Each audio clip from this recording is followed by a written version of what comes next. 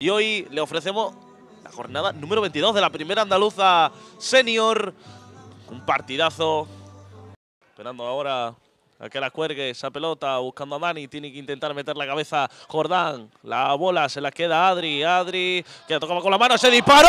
¡Gol! ¡Gol! ¿Qué digo? ¡Gol! ¡Golazo que acaba de meter Adri! Alex, mete la punterita, Diego. Balón ahora para Tarik. Va de Tarik. Tarik que puede ensayar el disparo. Ese disparo de Tarik. Vaya golazo. Vaya golazo. Golazo de Tarik. La va a poner. Ahí está.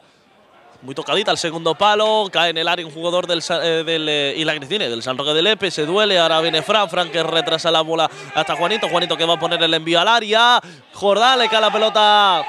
Ángel. Gol. ¡Gol!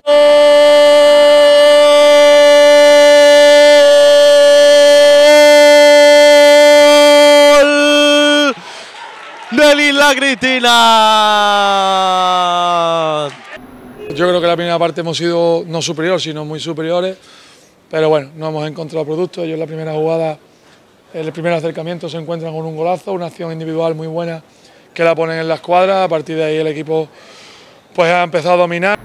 Creo que es un partido, el que lo haya visto lo ha podido comprobar, que es un partido súper complicado ante un rival que, que, bueno, que muy físicamente están muy bien, andan muy bien y, y bueno, porque que encima con balón también han estado, han estado bien.